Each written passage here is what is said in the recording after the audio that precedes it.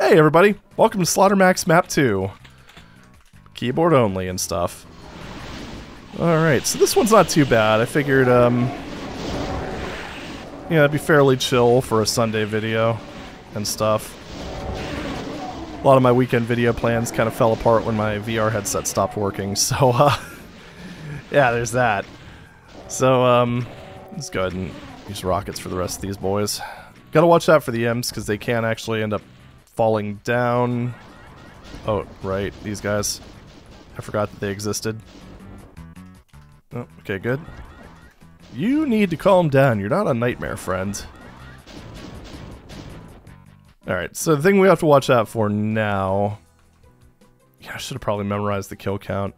But uh, sometimes, because this is on boom compatibility level, the imps will fall down into the lava then you've got to just like, I don't know, do some wall blasting shenanigans. Alright, so next step, to get behind this door, as you can see it doesn't open. I'm thinking that's probably intentional. Because you're not really meant to escape this uh, arena. Ooh, didn't take any damage. Nice. So, yeah, this is kind of where everything happens. Like 90% of the map happens in this room. So what we're going to do is hit the switch, being very careful not to grab the Megasphere. And uh, we'll just kind of get some infighting going. We're going to grab one of these guys when, uh, like right now. Basically, we just want to wait for the um, Archviles and Cyberdemons to kind of start pouring into the room. And then, uh, yeah. I'm sure you could probably get them to sort of, uh,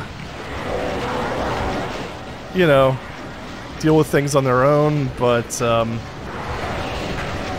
yeah, we're going to play it safe just because I don't really have the level of um, maneuverability that I normally do, so...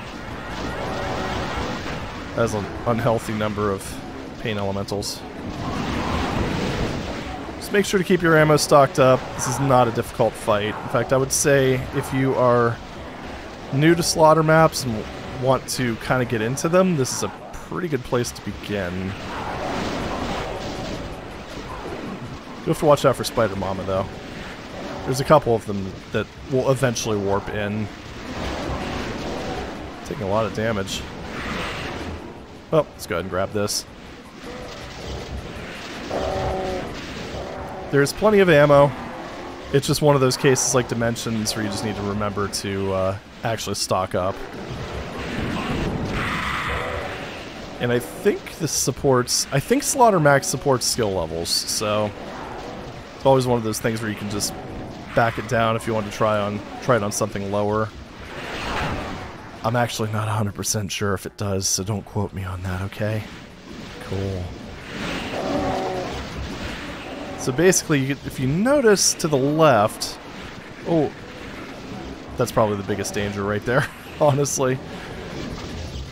Like, that was... Uh, the first time I played this, I died, and it was simply because of one of the spider mamas literally spawning right in front of me as I was on my way to grab a megasphere. It was perfect timing. But anyway, you can see that wall falling. That's um that's where we're gonna go next.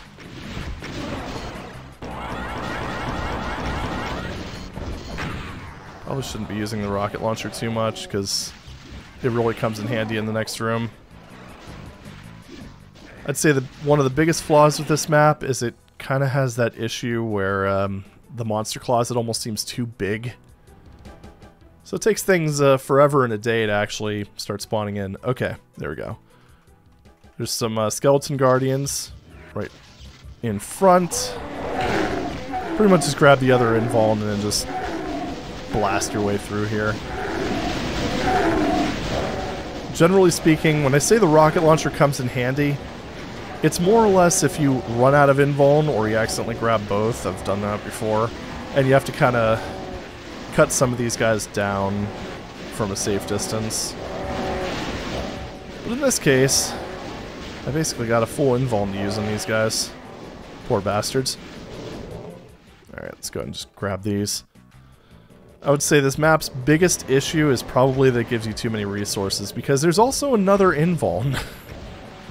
that you get for the next phase. Ooh, that was a nasty damage roll.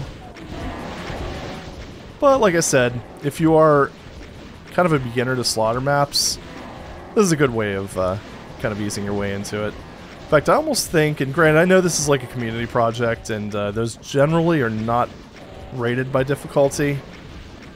I kind of feel like this should have been map 1.